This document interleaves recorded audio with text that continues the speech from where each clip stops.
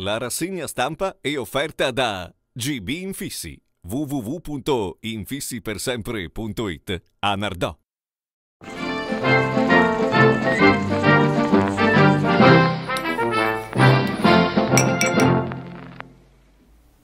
Mercoledì 9 febbraio, buongiorno a tutti. Scoppiano le polemiche oggi a livello locale, sia a Palazzo Carafa con gli sms dell'assessore Anguscio che a Monteroni con la dimissione della eh, giunta del comune. Vediamo gli, questi e gli altri titoli. Iniziamo come sempre con il Corriere della Sera. I PM chiedono il giudizio immediato, Berlusconi stanno violando la legge, richiesta della Procura contro il Premier, la difesa non rispettano il Parlamento. Sarò a Milano a seguire tre processi, il Cavaliere indica le date dei tre processi contro di lui. 28 febbraio diritti TV Mediaset, 5 marzo udienza preliminare Media, media Trade, 11 marzo Mills. E annuncia che si trasferirà a Milano per difendersi. E su Rubi afferma ha mentito sulla sua età anche Carabinieri dicendo di essere nata nel 91. Sara Tommasi e gli sms di minaccia al Cavaliere, la malattia del bipartisan del garantismo a corrente alternata. Incentivi automatici a piccole, a piccole e medie imprese, l'85% dei fondi al sud, il Consiglio dei Ministri, il piano per la crescita. E il caso delle due gemelline, 10 lettere nel mistero delle gemelline, si infittisce il mistero di Alessia e Livia, le gemelline sparite da giorni. Passiamo al messaggero, Rubi verso il rito immediato. Oggi la richiesta del PM, Berlusconi a giudizio per concussione e prostituzione minorile. Ghedini, violate così la, le norme della Costituzione. Sara, gli sms e l'auto della scorta del Cavaliere, la polizia, la showgirl su una macchina presidenziale, messaggi al Premier, al fratello Paolo e alla Russa. Liberalizzazione e incentivi, ecco il piano del governo. Oggi in Consiglio dei Ministri le misure per rilanciare l'economia. E sul caso del rogo di Roma, genitori indagati, i fondi per i campi Rom, scontro tra Alemanno e Maroni. Unità d'Italia, la festa divide il governo. La giornata del 17 marzo, data simbolo dell'epopea risorgimentale, fulcro delle celebrazioni per i 150 anni dell'Unità d'Italia, è oggetto di contesa fra i laboriosi e i festaioli. Gemelline sparite, il giallo dei soldi. Prima di uccidersi il padre ha spedito all'ex 5.000 euro da Cerignola. Passiamo alla stampa. Rubi oggi le richieste dei PM, stralciata la posizione del Presidente del Consiglio per andare subito al processo. La Lega entro due mesi ok al federalismo. Per Berlusconi rito immediato per concussione e prostituzione minorile, i legali del Premier al contrattacco, la Procura ha violato la Costituzione. Bondi, il ministro fantasma, non è stato sfiduciato ma da prima di Natale ai beni culturali non l'ha visto proprio nessuno. L'ultima giornata di Alessia e Livia, alla madre delle gemelline arrivano le lettere con i soldi del padre e delle bambine, nessuna traccia. Andiamo un po' più a sud con il Corriere del Mezzogiorno. Acqua, scontro religione, il, regione Ilva. L'assessore attacca questa decisione dell'azienda e un pugno in faccia alle istituzioni e ai cittadini pugliesi. Il siderurgico, acqua potabile per gli impianti, il no di Amati. È saltato il negoziato tra la regione e l'Ilva di Taranto sulla possibilità per lo stabilimento di utilizzare l'acqua proveniente dall'impianto di affinamento di Taranto, risparmiando così 250 litri al secondo che l'Ilva preleva da, dal Sindi. Imprenditore morto ma non è un suicidio trovato appeso a un albero. Ha un nome invece la donna ritrovata nel pozzo, si chiama Milena De Giorgi, una ragazza di 34 anni di Galatina. E cade elicottero della finanza, feriti due militari, succede a, tra Fa, Fragagnano e Monteparano. Andiamo ora alla Gazzetta del Mezzogiorno. Il PM accerchiano il Premier, stralcio per Berlusconi, rito immediato per i reati di concussione e prostituzione minorile, oggi la richiesta. Ghedini violata la Costituzione, l'11 marzo riparte il processo Mills, sms di Sara Tommasi a Silvio, spuntano foto di Noemi ad Arcore. Arriva la scossa per l'economia, incentivi l'85% al mezzogiorno, oggi se ne parlerà in Consiglio dei Ministri.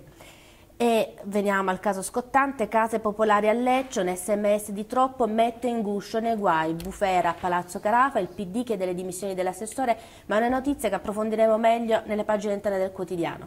I soldi alla moglie prima di suicidarsi, ritrovate sette lettere, la procura forza le bimbe in mare. Una barista e le gemelline sono le ho viste a Cerignola. Esplode la protesta per i tifosi del Bari contro Ventura, calci contro l'auto, contestato anche Angelozzi. elicottero salvato dalla diga, fantasma, Taranto um, ammaraggio nell'invaso di Pappadai, feriti due finanzieri. La Gazzetta di Lecce, fotovoltaico selvaggio, comincia la caccia ai furbi. Denunciate spaventose situazioni di sfruttamento in tutto il Salento. Il prefetto Mario Tafaro schiera Guardia di Finanza, Carabinieri, Forestale, ASL e ispettori del lavoro. Muore in strada un finanziere di San Pietro nell'Ama in un terribile scontro alla, alle porte di Bari. È deceduto ieri Giovanni Favale, 46enne, sottufficiale della finanza di San Pietro in Lama. Bombe, pistole e fucile arrestato, i carabinieri scoprono un piccolo arsenale e a Monteroni la giunta si dimette, Guido resta. In 11 si presentano al, dal sindaco e rimettono nelle sue mani le deleghe e gli incarichi, azzerando di fatto la giunta. E anche qui in prima pagina gli sms di troppo di inguscio, inguscio nei guai. Andiamo al quotidiano, case in guscio nella bufera, l'assessore comunale invia centinaia di sms per riunire amici e parenti sul nuovo bando, Monteroni nelle mani del sindaco, le deleghe di assessori e consiglieri. Vediamo un attimo la cronaca, soldi spariti, prete indagato, anziana affida risparmi al viceparroco, il conto risulta prosciugato, finanziere travolto e ucciso, l'incidente avvenuto alle porte di Bari. E di Galatina la donna trovata morta nel pozzo, gli inquirenti parlano di suicidio e per il calcio Miccoli il Lecce mi ha solo usato e mai considerato. Lo sfogo del bomber salentino. Andiamo nelle pagine interne. Multe agli sporcaccioni ed e guerra alle cicche, pugno di ferro del comune, decine di sanzioni in due mesi per chi non rispetta la differenziata firmata eh, anche l'ordinanza anti-sigaretta. Caso Sizza, il PD chiede documenti. Dopo l'inchiesta avviata sul concorso di idee per le cave di Marco Vito, Rotundo vuole chiarezza. E veniamo al caso del giorno, sms per il bando case, bufera su Inguscio. L'assessore invia centinaia di messaggi a, a parenti e amici. Il PD chiede le dimissioni.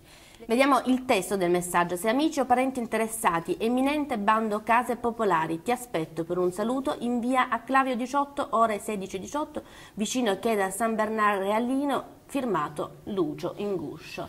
500 messaggi inviati ieri pomeriggio prima delle 16 dall'assessore alle politiche abitative di Lecce Lucio Inguscio, scrive il quotidiano, per parlare delle nuove case popolari con il bando non ancora pubblicato. Ha fatto subito scattare l'allarme a Palazzo Carafa. Si è scatenata quindi una bufera, l'incontro è stato bloccato, l'assessore Inguscio non si è presentato dicendosi malato, l'opposizione del comune di Lecce ha accolto la palla al balzo e senza perdere tempo ha convocato per questa mattina alle 11.30 una conferenza stampa per lanciare lanciare la sua denuncia forte, si tratta di volgare speculazione sui bisogni delle persone. L'assessore Inguscio si dimetta immediatamente.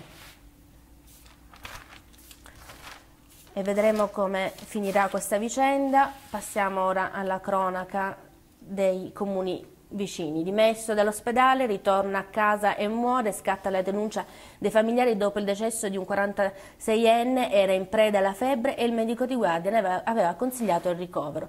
Infatti il primario afferma è stato lui stesso a rifiutare il ricovero e nessun problema di postiletto, dal pronto soccorso avevano insistito. Sempre a Squinzano nascondeva in casa armi, bombe e arrestato un incensurato, Alfredo Scazzi 31enne, trovato dai carabinieri con un vero e proprio arsenale, una moto rubata e diversi passamontagna è coinvolto nelle, nelle rapine? Questa è la domanda che ci si pone e su questo si indaga.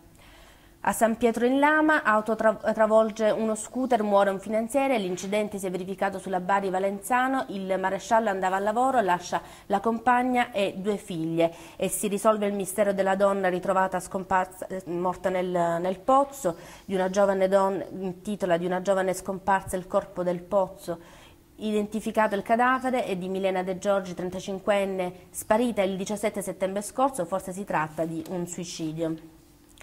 Caso Monteroni, dimissioni in blocco, la giunta si scioglie dopo le accuse sui rischi eh, di infiltrazioni mafiose a Palazzo e prima dell'azzeramento da parte del sindaco, gli assessori si sono fatti da parte. Operazione trasparenza presso un super consulente. L'opposizione all'attacco afferma il sindaco che aspetta chiaramente a dimettersi.